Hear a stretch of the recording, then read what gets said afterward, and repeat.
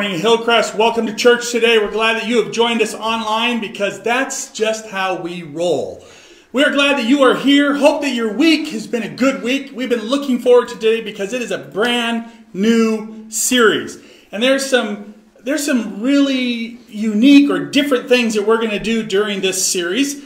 Uh, being uh, you know online or doing streaming services uh, gives us an opportunity to do some things differently. It also creates a few challenges for things like we're used to doing them. But nonetheless, uh, we are going to be working through um, this series in which we are uh, talking about this thread of redemption that moves from, from Genesis all the way through to Revelation. And uh, I've got a special guest that you're going to meet later today that's going to share a little bit about his connection into this uh, this series and really, I guess, how this series came about uh, as a result of that connection. So, some things to look forward to today. Hope that you were able to catch Hillcrest Live this last Thursday. We were having a lot of fun on Thursday night, so uh, come on out, be a part of that. If you miss it on Thursday night, because I don't know, uh, who do I compete with on Thursday? Is there anything going on on Thursday night on television? Worship practice. Yeah, okay, yeah. You know, everything's de- everything is is streamed online anyways. You know, your Netflix shows will still be there. So seven o'clock. But if you're out taking a walk, you're with the family. I get it. But come join later. Uh, but we have a lot of stuff that we do, uh, you know, directly online um, together. So. Uh, if you want to be a part of that, you can do that, and we would love to have you there with that. Today, uh, as the beginning of the message starts, there is going to be some polls that you're going to engage in. So what's going to happen is as you're watching this live stream, a poll is going to pop up, and then you're going to interact with that poll, and then it's going to go away, and then another poll will pop up, and so on and so forth. So uh, that is coming up at the beginning of the message, so just kind of prepare you for that. Take a moment right now and greet those around you. Say hi to someone. Tell everyone you're online. Say, I'm here. Say hi to various people as they're coming on. And that way, um, you know, everybody can kind of see who's there and start some interaction and chat and talk with one another. So go ahead and, uh, and do that at this moment. And as uh, you're doing that, we are going to uh, move right into our first worship set today. So again, welcome to Hillcrest. Glad that you're here. Kelsey, team.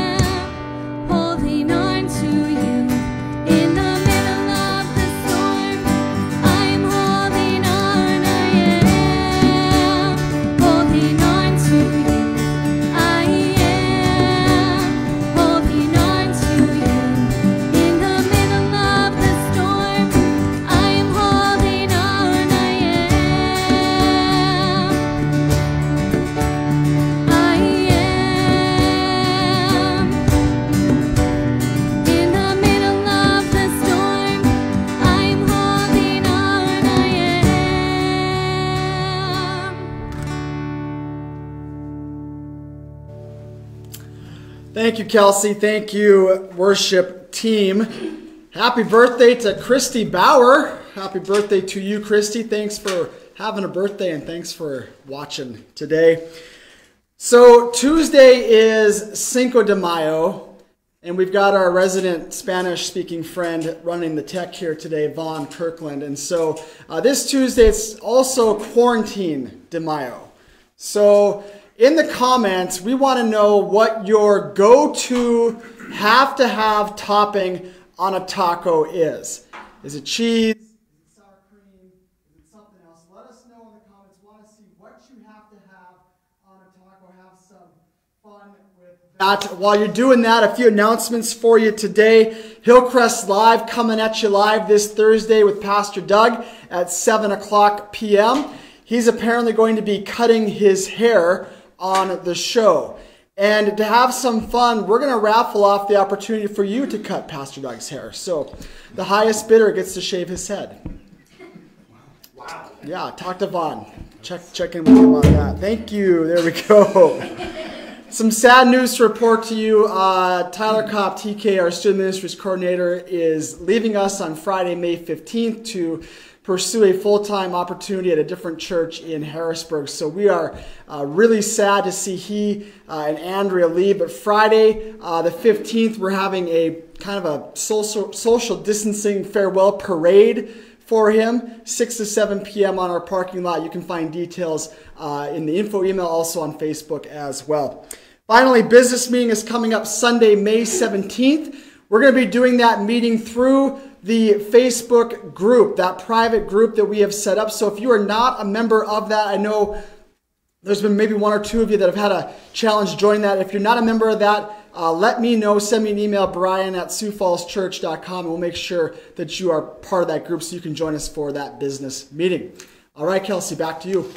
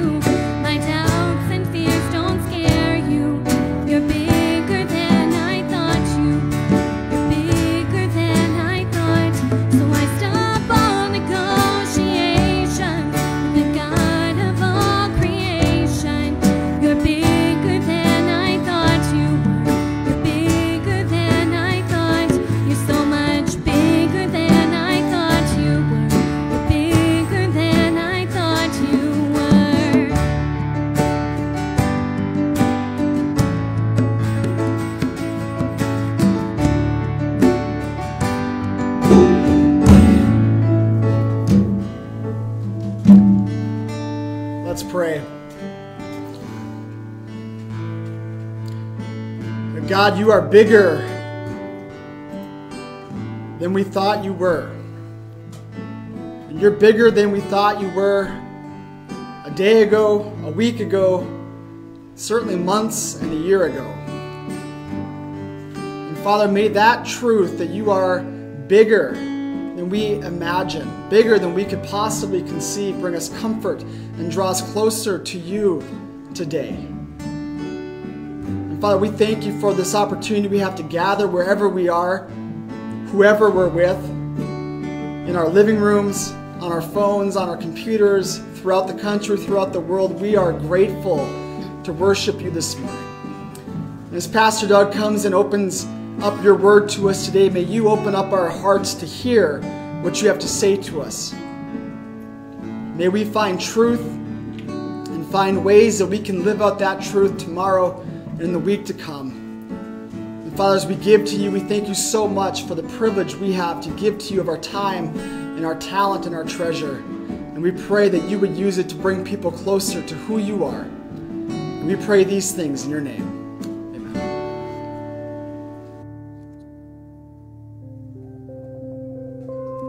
Our story is Adam and Eve's story. We were hiding in the garden, making excuses for our sin, unable to cover up our shame. Our story is Jonah's story. We were running from God, denying our calling, surrounded by a raging sea. Our story is a prodigal son story. We were wasting our blessings, lost in our failures, too afraid to return home. Our story is Peter's story. We were unbelieving, full of fear and doubt, our faith slowly sinking beneath the waves. But that is not the end of our story. We are all longing to be restored. We want to stop running. We want to be found. We want to believe, and we are crying out for a Savior. So God stepped in into a broken world, into human form, into our very lives. God stepped into our mess, into our sin, into our failure, our fear, our doubt. He stepped into death, and the door shut behind him.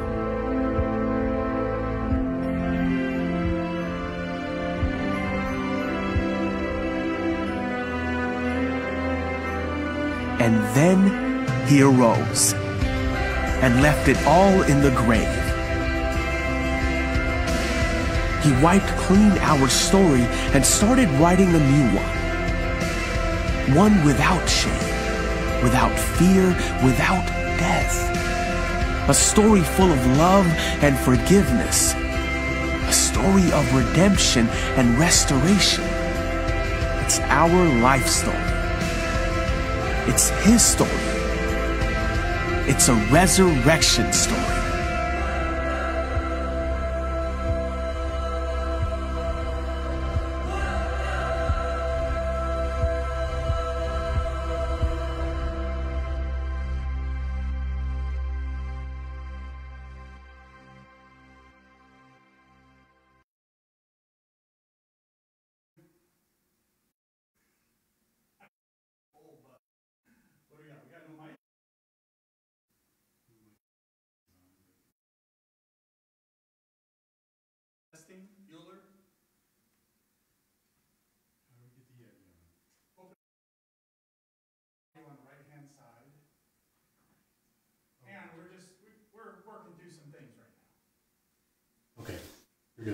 It's on? Yeah. We're on. You know, we were just mentioning, you know, every seems like every week there's a glitch here, a glitch there, but we said, you know what, when you're when you're producing a live show, these kinds of things are expected. Because even places like NBC and CBS, they can't get it right on their live shows. And we just have Vaughn. So Wow. No, not like that Vaughn is less. I just mean one person Vaughn. Wow. All right. Well, It's all about the. we are. It's the timing. Punctuation is important. You couldn't see my punctuation in the way I was saying that. Um, we're going to start off with some online polls, which again is a brand new thing that we're going to try here, and uh, we'll see if it works. There's going to be five polls that are going to come, and they're going to come one after another. So you will only have a few seconds to vote on the poll, all right? So what we're going to do is we're going to look at some art pieces, and I am going to uh, I am going to be interested in whether you uh, feel or believe that um, uh, art piece A or B is more art than the other one. They, they're both art, but which one, you as a critic, which one do you think is really art okay? So right here in in this uh, box here next to me is where they're going to show up and then uh, we'll blow them up big so everybody can see them really well and then you will have a chance to to vote okay? So uh, we're going to pull up that poll right now and here's the first one. So a you know who that is? Um, you might say michael jackson. I was going to say that. uh, and B, that is uh, the Mona Lisa. Uh, I don't think that's the original. So, uh, which one do you think is more art? Okay? I know you're like, this is a bad choice. Well, you got to pick one. You're the art critic, okay? All right. Closing voting on that one. Open up poll number two. Another one. This is fan art. These are fans uh, that draw art of their fans. So who do we have here? A is Dwayne the Rock Johnson, and B is. Jim Carrey. Jim Carrey. That's right. Jim Carrey. Uh, he actually said he loves this one. He says it's just like him. So his mother couldn't tell them apart, apparently. Uh, Jim Carrey. So yeah, which one do you think is more art? All right. Let's see. Third one. Some strange photos here. Mickey Mouse and a duck smoking. I don't know. A or B, which one is more art? By the way, I did notice online you guys are kind of uh, kind of loving the the camera on the keys, so that's kind of a cool little thing we tried. But um, yeah, we're trying new stuff. Stuff some stuff crashes and burns, other stuff works. So yeah, you like that one? That's good. All right, next one. This is our uh, uh, this is more traditional artwork. The fourth one here. Uh, so this is the Mona Lisa and Van Gogh's Starry Night listed as the number one and number two most famous art pieces on planet Earth. Mona Lisa being one, and Van Gogh's Starry Night being number two. But which one do you think is more art? Realizing that whatever you put for this one, you're wrong. But Mona Lisa or Starry Night? We have one final one. Which is more art? Michelangelo's David or Art Guzzi? Didn't Which Art, one? Didn't Art pose to be David? Yeah, Art was actually posing to be David. So which one is more art? David or Art? And uh, I'll just publicly, I'm sorry, Art, that I use your likeness without your um, approval, but it just seemed to fit so well. And I think you would agree. So, David or Art, which one is more art? Um, all right. So in our polls, it looks like that worked pretty well. You guys were able to vote. Hopefully you had some fun with that. Looks like Mickey Mouse won his in a landslide. Uh, Van Gogh won. I agree. Because the Mona Lisa, I get it. It's the number one most popular painting. And I just have to say why. When that's number one, I realize I don't know what art is, nor could I be a critic that would make sense. But at the same point, sometimes those movies that win the Academy Awards, it's amazing that the movie that wins it all, I never saw or I never even heard of. So I don't know. There's a world out there that I don't quite get or understand. Because, you know, I always think, like, how come the zombie movie didn't win? Because that was a great movie, whatever that one happened to have been. Um, yeah. And apparently, yeah, Vaughn says, what about Tom Cruise movies? Yeah, because Tom Cruise, they're great movies. So, and apparently between uh, David's, uh, uh, uh, Michelangelo's David or Art Guzzi, Art wins in a landslide. So, good job, Art. You're the winner. You're more art than David. All right. First, uh, these four Sundays in May, we're going to be doing this new series called The Scarlet Thread of Redemption. And it is a theme that runs through the Bible, from Genesis all the way through to Revelation. We have this scarlet thread of redemption, where God is always in the process of redeeming his people, redeeming what um, uh, our fallen condition, redeeming situations along the way, and then ultimately we're looking, looking forward to this final redemption. And even Jesus in his time here is a key piece of this redemptive plan that God has. And so every book of the Bible it weaves through, which is why in our, our logo you've got a line of Bibles with that red thread that seems to be going through each one of them, the, the, the scarlet thread of redemption. And it is a theme that is easy to see when you read the Bible. Just a basic reading of the Bible by anybody is going to come up with this theme of redemption. You, you see it play out over and over again, story after story, event after event, book after book. You see redemption. What is redemption? Redemption is the regaining of something that you've lost, and usually there's this payment for uh, in order to get what that is. That's how we redeem something. So think of like a coupon, right? You you redeem a coupon when you use that to get what you need. So there's this this uh, idea that you're getting something, you're paying something for it, you're giving something for it, and you're getting this thing in return. Or maybe think of a, a person who, or, or, a business who maybe doesn't have the best of reputation. So they hire a new manager, they hire a new salesperson that is trying to redeem that um, reputation by working hard with customers and you know being the kind of business that people want that business to be so they can kind of redeem that reputation. So it's, it's gaining back something that you have have lost. Um, the opening page of the bible are a story of perfection. As the bible opens up we, we see god creating and six days of creation. He creates everything that is not just the earth, but everything that's on the earth, and not just what's on the earth, but everything that is, including the vastness of our solar system, the universe, all created by God within this six day um, cr- uh, creation period. And in Genesis chapter 1, that's what you see, this whole creation piece happen.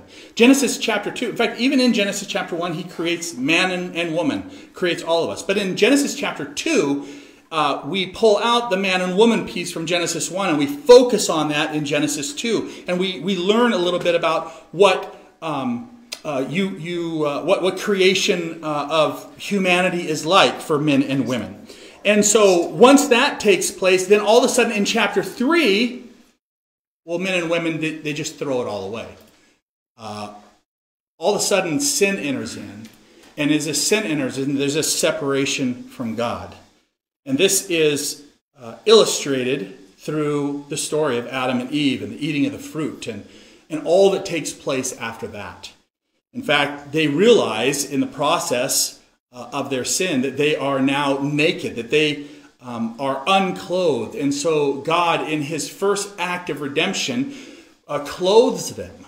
Um, he takes animal skin and he clothes them. And uh, an animal is sacrificed in order to redeem this nakedness that they have. Genesis 3:21 says, "And the Lord God made clothing from animal skins for Adam and his wife." So this is the first time death happens for redemption. Animal is sacrificed for the covering of God's people. It is certainly a rich symbol of God's love and care for his people, but it's also the first of many sacrifices as it's going to require blood.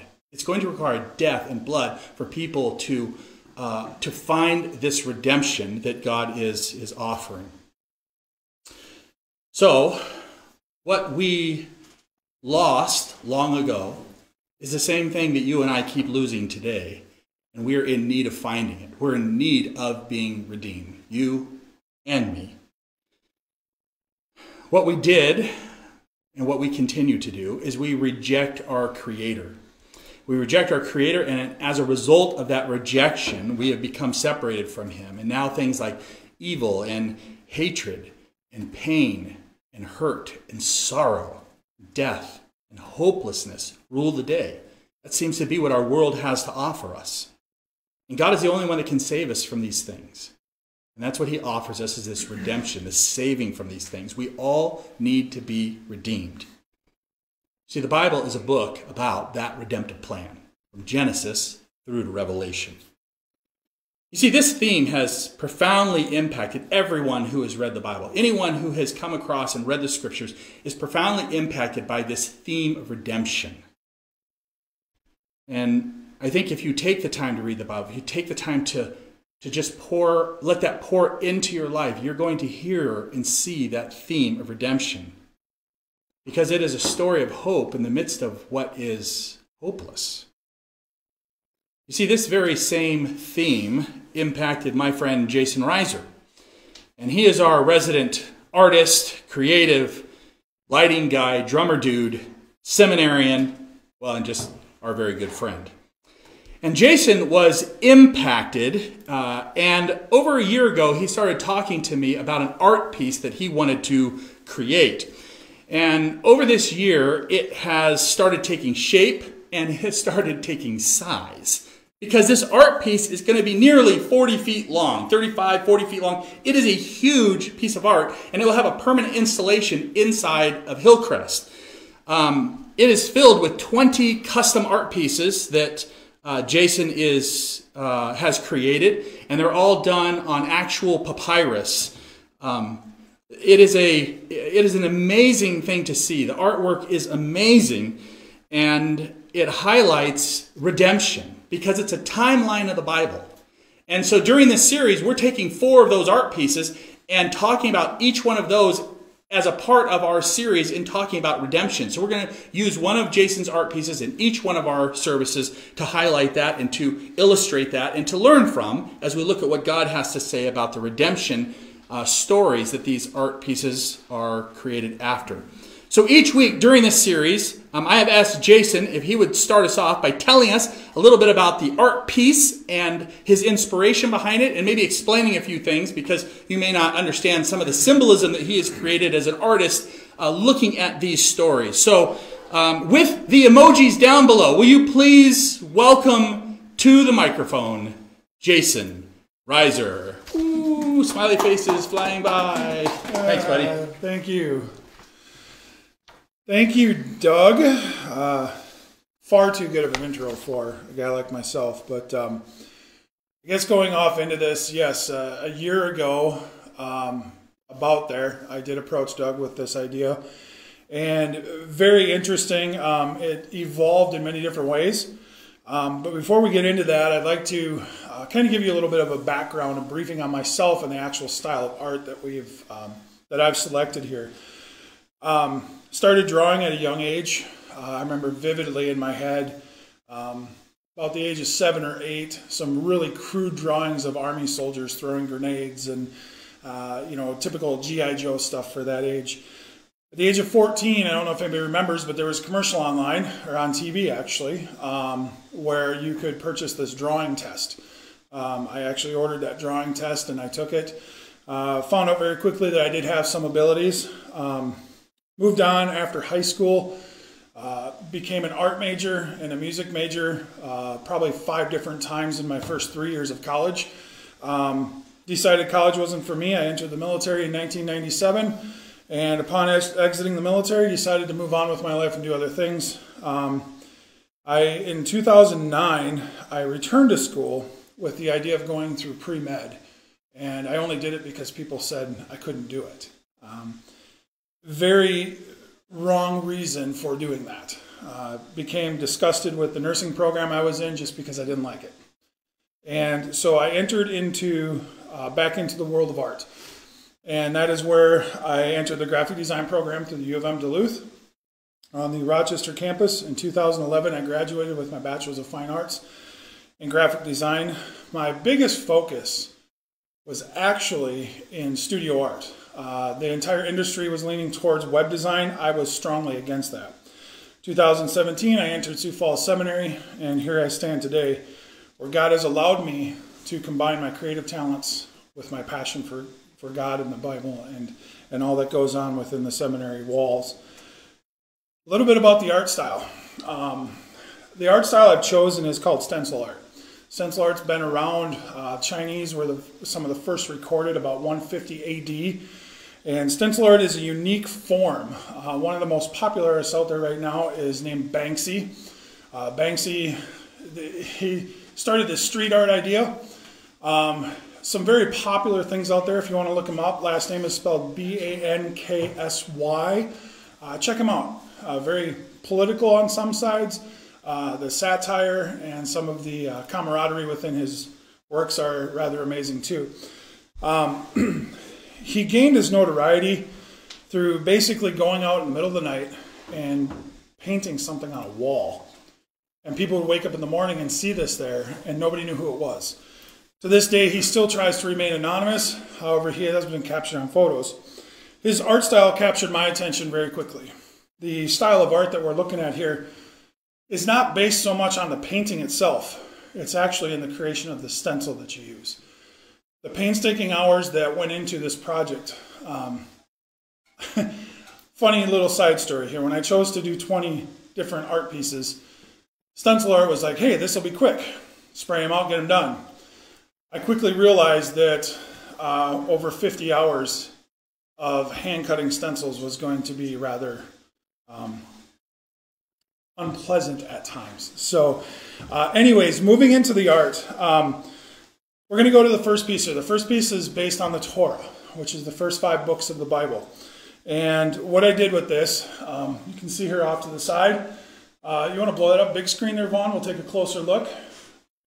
So this is on papyrus, like Doug said. Um, part of this is the design here is to be like a book cover, uh, you know, going over the beginning of all this. And with the layout of it, it's, it's got some hard edges. You'll notice that there's a lot of jaggedness to it. Um, that's kind of a representation of the, the way that we move through the Torah and some of the rough um, stories that are within there. When I first started reading the Bible, I was very astonished at the grim nature of some of the books and some of the stories that we read in Genesis. Uh, moving through this, we're going to actually kind of take a little bit closer look at different elements here. The first one we're going to move into here, if we can zoom in a little bit there. On the left side there, you'll notice a zebra print. Um, the zebra print here is a representation from the book of Genesis when Adam and Eve do take the bite of that fruit. They disobeyed God. They were just covered in shame. Uh, God comes back to the Garden of Eden and is shouting for them, asking them to answer. And when they do not answer, they're hiding from their shame. Part of it was because they were naked. Uh, this, for me, when I started researching the redemption idea behind the scarlet thread, was very interesting because you try to figure out where did it all start. Um, in the animal print that you see here, it started with a sacrifice that God made for us through sacrificing his own creation, one of the animals, so that he could clothe Adam and Eve. So, thus, the zebra print is on there.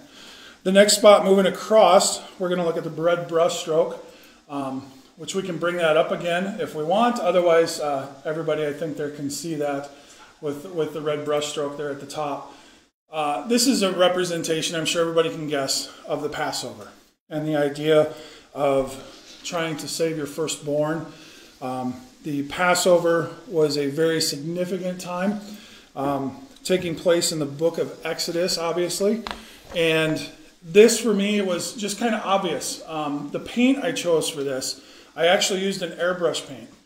Uh, this airbrush paint is, um, it's by a company called Createx, and it's actually called Blood Red. Um, it's designed with the idea of looking like blood when it is applied. And a little hard to see in the video version of it, uh, but when you see it in person, um, it is transparent and opaque, just like blood. Moving down through this, you're going to see some written text. The words, I am who I am. And in the center of the O, you have Yahweh. Uh, there is also, if we zoom, there we go to the large shot, we can see up the side there of the jagged triangle on the bottom, there's going to be a couple different versions of Yahweh. These are representations of God as our provider, God as our righteousness, and the God who is always there for us. As we move across on the bottom of the screen there, you're going to notice the goat and the handprint. And bring that one up. We'll just zoom right in on that right away. Um, that's every artist kind of puts their own little spin on things. That is my actual handprint. So I had to make the goat larger than life because my hands were so big. But uh, what's really interesting with this, I was really captivated by the story of the scapegoat. Uh, one of the goats, there was two goats. One of the goats would be sacrificed, and then the other would be used as a scapegoat, which would be released into the wilderness. One of the things that's more grim about this, it was covered in blood. And this was from the sacrifice of the first goat. So the representation of the goat and the handprint is there. Moving on to the bone. The bone is also representative of the Passover with the Passover meal. It's also a representation of Christ who is to come later on, as we all know in the Bible. The idea behind the bone is, is that it's unbroken. The bones of Christ were unbroken when he was crucified. The, uh, those participating in the Passover meal were required to leave the bones unbroken. They were not to damage uh, anything when they were eating. And then the final element is going to be the wings. Uh, the wings are unique. Uh, there's one that's really pretty and frilly, one that's a little bit more bat like, a little more gruesome. And this is a representation of the choice that God has given us, the choice that we have to select between blessings and curses, between good and evil. What is our choice going to be? So um, I give this to you, the Torah. Uh, absolute fun in all of this. We are going to open this up for questions and stuff. I do see a lot of comments coming in. Um, I am going to respond to those, if not during the service message here. I will respond to them later on today or throughout the week as we go through Facebook. But with that, we'll give it back over to Doug and bring him back up for uh, the lesson. Thank you, Jason. Woo! Yeah, give your emojis. Um, yeah, it's going to be a really cool installation and looking forward to that uh, when we come back into this facility at some point in the future. Uh, we will have uh, kind of an unveiling of that. It should be a really cool, uh, cool experience uh, for all of us. So um, he's worked hard on this and the art pieces are truly, truly amazing. Now, so for those of you that have been with me for any length of time, realize that I think a little bit I say I think differently. But at the same point, some may say I think strangely or oddly or even, I don't know, annoyingly, but I say I think differently about things. And this has become uh, extremely apparent, apparent, for those of you that have been a part of Hillcrest Live the last couple of weeks, because definitely some interesting things there as I've been thinking about. But um, the art piece that Jason has created focuses on, uh, the one that we looked at today is focusing on the Torah, the first five books of the Old Testament Genesis, Exodus, Leviticus, Numbers, and then Deuteronomy. But the question as I look at that is I say, look, why? So, why are those five books called the Torah? And what is the Torah? Um, what are we supposed to do with the Torah? And if these five books are something called the Torah, why doesn't your Bible or my Bible delineate those five books as something unique or different or call that the Torah. So, what is this and what are we supposed to do with this? Um, and is the Torah, since it's a biblical item, we should be doing something with it? So, the question to start with is what is the Torah? The Torah is a, is a Hebrew word. The word Torah is Hebrew, and it means teaching or instruction. So, the Torah is the instruction. The Torah was used by the Jewish people.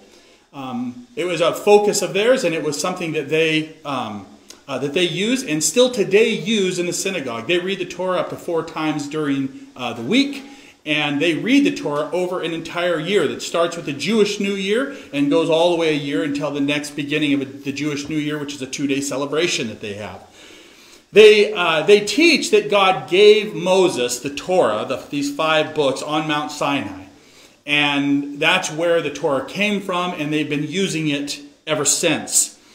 So that's kind of what the Torah is, or you know what we understand it to be, and how the Jewish people have been teaching on it. But Moses, as you well know, and if you think of his story, you can see that Moses is a redeemer. He is someone that God sent to redeem his people. This is, again, that important theme of redemption that is throughout the scriptures uh, as he, uh, as the story reveals, um, and and the work of Moses as a redeemer is revealed, uh, God then continues to redeem His people. Uh, redeems not only as they escaped Egypt and cross the Red Sea and go into the desert to escape Pharaoh and the armies, redeems the people there, but then the redemption going into the promised land, and again, story after story after story. But Moses, when it all starts off, Moses sees this burning bush in the distance, and he goes up to this burning bush. And at this burning bush is where God says, basically, He says, You're going to redeem the people. Like, you're going to be the redeemer. And Moses has all kinds of issues and questions, but one of the questions he, he has, it comes from Exodus 3.14. Because he said, Who do I say you are? Like, if I'm going to go do this thing, who, who's my authority? And so God replied to Moses, I am who I am. Say this to the people of Israel. I am at, uh, I am has sent me to you. So that's this uh, I am uh, issue or the, the redemptive piece where he says, This is who I am. So you tell them, God sent you. God is going to be your redeemer. So God is the redeemer, sends Moses to be the leader, to lead the people to the place of redemption that God has for them. Now, the people, of course, were a stubborn crew, but in the end, God redeems them. And it seems like God is always doing his redemptive work against our efforts to somehow thwart that redemptive work that we desperately need.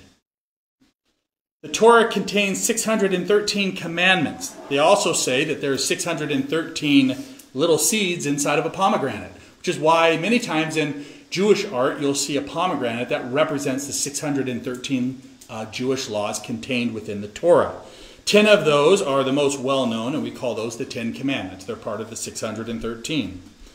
And the purpose of the law, like the whole reason why the law existed, was to prove to people that they could not keep the law. You couldn't keep all 613 laws perfectly. You were going to mess up. You were going to fail somewhere along the way. You were going to need to be redeemed. You couldn't do it on your own. You needed a redeemer. So the Torah is a real part of the Bible. It is Genesis, Exodus, Leviticus, Numbers, Deuteronomy, as we have written. That is the Torah. But the thing is, is that the Torah today cannot be fulfilled. You cannot do the laws of the Torah and fulfill them because, well, there's some real practical reasons. One, there's no temple. So you can't do the sacrifices. There's no priesthood. There's no Levites that, you know, run the temple and the, the priests, uh, those holy priests. So there's no temple. Um, there's no priest. Uh, at the same point, there is no theocracy form of government which is required under this Torah law. So we can't even keep the Torah law the way that it's written because these things don't exist. So, why is it that Christians don't really talk about this or observe these things within the Torah? Or why don't Christians use the Torah in a very distinct way? The reason is because Jesus, Jesus abolished the law all 613, he abolished them. And he set up, from the old covenant of God with his people, he set up a new covenant with his people. But the thing is, is that the new covenant, the new covenant with Jesus is even harder to keep than the old one. See, the old covenant, covenant, one of the laws was do not murder. Well, I don't know about you, that is an easy one for me. I'm just, it's not like I go through my day and I'm like, you know what, I, I had a great day today. I didn't murder anybody. It's not like I really struggle with that, you know? It's not like that's something that, you know, I want to do. So for me, do not murder. I got 612 others that may be hard to do, but that one is an easy one for me. I'm not going to murder anyone. But what did Jesus say about murder? In the new covenant, Jesus says if you hate your brother and sister, if you have hateful thoughts towards someone, same as murder. You have now committed murder. Well, that one's maybe not so easy for me to keep. I've committed murder many times if that's the new covenant way. So the old covenant couldn't keep. Jesus sets up the new covenant, abolishes the old law, sets up the new covenant, which is even harder now to keep. And none of us can do it. We all still need a redeemer. We cannot do it on our own. See, the old covenant was a covenant of blood, bloodshed, animal sacrifice in order to, to cover the sins of the people. The new covenant is also a covenant of blood. It's still going to require blood, and it's the blood of Jesus that covers our sin. It points all the way back to the, the Jewish Passover feast. It was called the Passover because it was a, the celebration of the time in which uh, God saved his people and sent this, this angel that would, if you weren't part of God's group, if you weren't on God's side, if you weren't on God's team, this angel would take the life of your firstborn son. But anyone that had the blood of a lamb that was sacrificed and put over the doorpost of the house, those people would be saved, would pass over their house. So redemption possible through the blood of a lamb, shed blood of a lamb, to redeem people. And the Passover meal was a time that they remembered this and they celebrated it. Exodus 12:13 says, "But the blood on your doorposts will serve as a sign, marking the houses which you are staying. And when I see the blood, I will pass over you. This plague of death will not touch you when I strike the land of Egypt." This was part of what God used in order to get the, the people out of Egypt, uh, away from Pharaoh, and to redeem them and bring them to the promised land. And the Passover celebration was that moment when Jesus decided, as he celebrated, they did once a year. Uh, Jewish people still today celebrate their the Passover meal one time a year. And at that very sacred, special meal that Jesus had with his disciples, because if you didn't know it, Jesus was Jewish, um, as long as well as his disciples. So at the Passover meal, as they were having it, as good Jewish men would, it is at that moment that Jesus decided to tell them that the new covenant was there and that that new covenant was going to require sacrifice and shedding of blood, but that it would be the sacrifice of his body, and it would be the shedding of his blood. And he did that with two elements cup, wine, and bread, symbolizing the body. And after he did this with the disciples, he said, Now do this, uh, and when you do this, do it to remember me. Do it to remember the sacrifice. So the Passover, the redemptive work of God, Jesus used that to illustrate a new covenant that was coming and how that new covenant would be his body and his blood shed for all mankind. No longer an animal, but he would be the Lamb of God, and his blood would be shed for the world. So, this is where Jesus brings us to. So, we don't follow the Torah because we're under a new covenant. And in this new covenant, uh, it is a sacrifice that has already been made by Jesus that covers us in our own, uh, from our sins and, and washes us white as snow. The new covenant, Jesus is saying that he will save us from the penalty of the law, he will redeem us. So, for Christians, the focus is on the new covenant which is salvation through Jesus. And we illustrate that through baptism. We identify with his death and we come up out of the waters, identify with the resurrection. We do it through remembering, through communion. And we also do it through celebrating, through worship. And we worship on the seventh day of the week, on Sunday, the day that, of the week that Jesus resurrected. And so even uh, followers of Jesus switched their day from Saturday to Sunday because it was so significant that Jesus rose on Sunday. Redemption has always been there, from the beginning all the way through to today. It has always been a part of God's plan for us to redeem us as his people. Redemption in the Old Covenant was secured through the sacrifice and the blood of an animal. But the New Covenant is secured through the sacrifice of Jesus, the Lamb of God and the blood that he shed on the cross. So I'm going to invite our worship team to come on up at this point. Is one of the things that we, we want to understand as we close our, our, our service here is that redemption is here. Redemption is now. Redemption isn't something we have to wait for. It's not something of the future. It is here and it is now. And God has always provided a way for you and I to get out of this mess. He has always been a part of, of understanding that we're the ones that broke it through our sin at the very beginning. And that we continue to break it in generations past. But He has always been a part of redeeming His people. Even though we continue to make redemption necessary, He continues to work on redemption. You see, the question today is not whether you are redeemed. The question is not whether redemption is, is available to you. The question is, will you choose to be redeemed? Redemption is there, redemption is offered, but have you chosen it? Because for you and me, blood will be required to redeem us from our sins. Blood is required.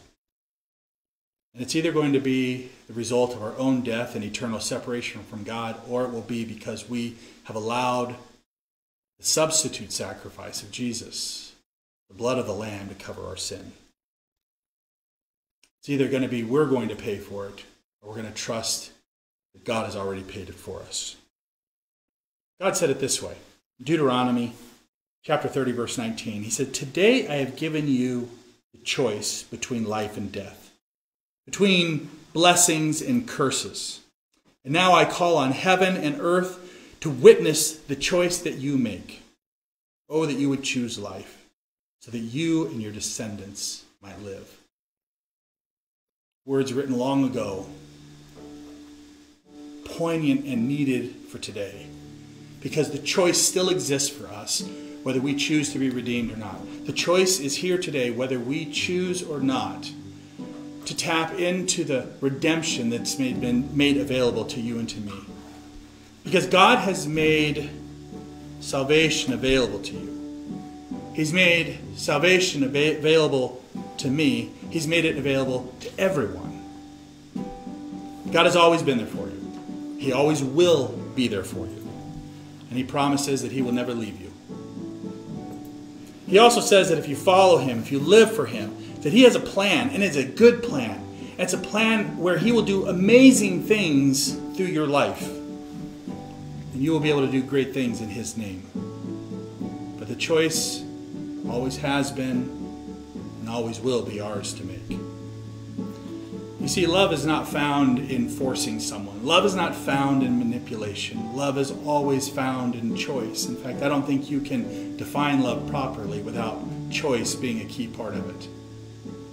Love is a choice that we make. We choose to love. That's what makes love love. To choose. Let's pray.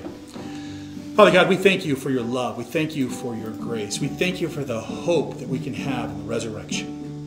And so, Lord, as we enter into an understanding of redemption, and as we look uh, even this month at how redemption plays out, uh, page after page in your story, may that redemption live out page after page in our own lives. That it may be a testimony, that it may be um, a truth, that it may be something that we uh, can communicate and live out, but it's also something that we can embrace and hold on to and draw close to knowing that we on our own are broken and that on our own we are far from you, but, but as we tap into who you are, forgiveness is possible. We thank you for your love. We thank you for your forgiveness. We thank you for hope. We thank you for the redemption we can have in you. In Jesus' name,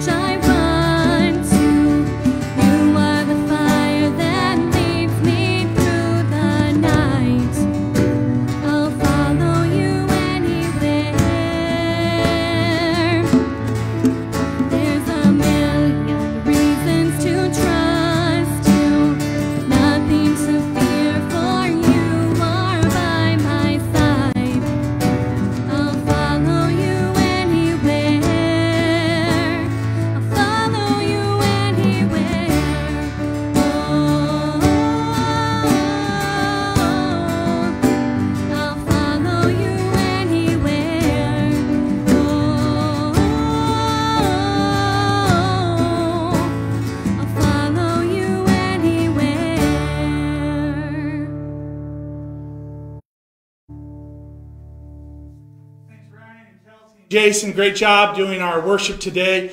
Uh, that concludes our service here. We have one week until Mother's Day. Next Sunday is Mother's Day, so hopefully you have prepared and you're ready for that. I know Mother's Day is going to be really different this year than it has in years past, but you can do some things for this Mother's Day that maybe you weren't able to uh, any other year because of that. So be creative, figure out ways to care for and to love on your moms um, because it is their special uh, day next week. Next week, we also are going to be continuing our um, Scarlet Thread of Redemption. We're going to be looking at the character of Ruth, which is a great one for Mother's Day too, with Naomi and that whole scene. So you can read ahead and kind of catch up and uh, be ready for us next week. Read that story of Ruth. Uh, you can find it in the well in the book of the Bible called Ruth. That's pretty easy one to find. So. Uh, hopefully you have an amazing week. We've got a lot of stuff uh, happening here uh, around Hillcrest, and we'll be doing a lot of different kinds of things online. Uh, and again, whether it's Wednesday night or Thursday night with Hillcrest Live, uh, we've got opportunities for you to connect and enjoy a little bit too. God bless you all. Thanks for being a part of our service. That does it for us. We're out. Thanks.